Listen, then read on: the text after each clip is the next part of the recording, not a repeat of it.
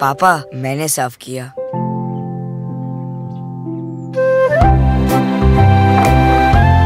Enjoy learning with Classmate Notebooks.